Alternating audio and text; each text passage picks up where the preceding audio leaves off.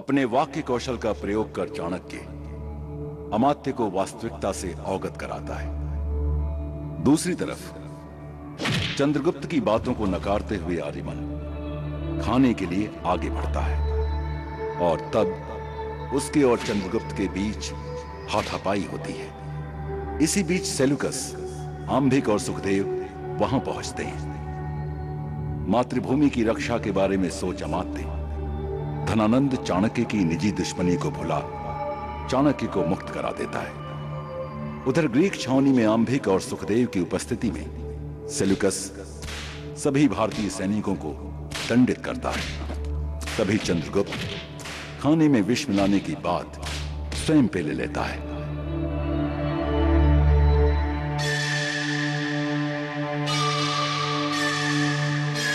यदि तुम्हें स्वीकार रोकती ही चाहिए तो मैं स्वीकार करता हूँ। मैंने मिलाया था विष। मुझे मारो।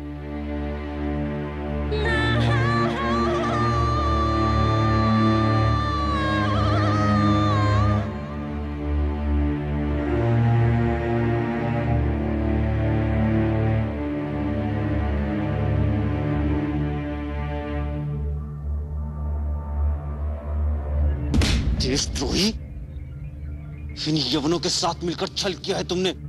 देशद्रोही हो तुम। छोड़ो। दुष्ट कहीं के। तुम हो ही अपशगुनी जब से आए हो, हमारा जीना दुर्लभ कर दिया है। पहले हम यहाँ सब चैन से जी रहे थे। तुम ही हो सारे फसाद की जड़।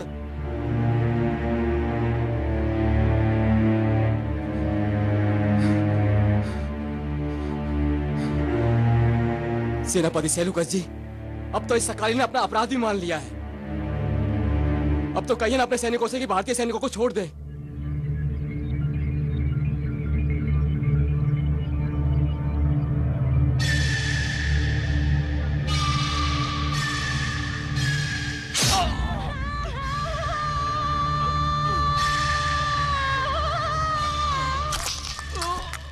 मुझे तो मेरा अपराधी मिल चुका है। पर मैं सारे भारतीयों को क्यों छोड़ू? इनको भी वही मिलेगा जो ये लायक है।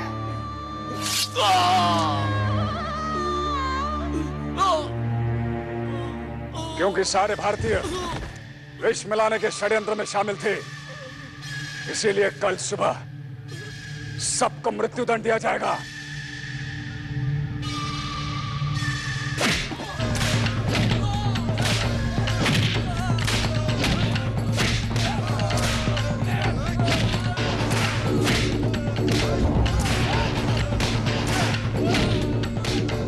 आदरणीय सम्राट सिकंदर, हमने यहाँ कई अपशगुनों और मौर्य की कई कहानियाँ सुनी। कहानियाँ नहीं, अफवाहें। जब तुम अपने शत्रु से डरते हो तो तुम्हारा डर तुम्हारी शक्तियों को छीन कर तुम्हें कमज़ोर बना देता है। तुम्हारी यही कमजोरियाँ तुम्हारे शत्रु को और भी शक्तिशाली बना देती हैं।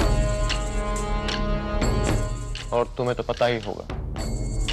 शत्रु की घृणा, मित्र के प्रेम से कहीं अधिक शक्तिशाली होती है। जो हर समय अपने शत्रु का बुरा सोचता हो, वो कुछ कर नहीं पाता उसका। सर्वथा सत्य कह रहे हैं आप, सम्राट सिकंदर। लेकिन राज चिन्ह के जलने को हल्के में नहीं लेना चाहिए। बहुत बड़ा संकेत है। हमने तो आज तक कभी ऐसे किसी हादसे के बारे में नहीं सुना। डरना चाहिए। ऐसे संकेतों से। पर पता नहीं क्यों महाराज, मुझे इसमें मगध का हाथ दिखाई नहीं देता। भला वो इन छोटी मोटी बातों में क्यों पड़ेगा? और सम्राट सिकंदर रहा प्रश्न धनानंद का। वो इतने आत्म केंद्रित राजा है कि अपने राग रंग से बाहर निकले तो सोचें कि देश का क्या हो रहा है और देश कहाँ जा रहा है। मुझे भी ऐसा ही लगता है। सिवाय उस सकाली लड़के को छोड़कर। ऐसा क्या है उस लड़के में? जाने क्यों मुझे वो लड़का संदेशपद लगता है।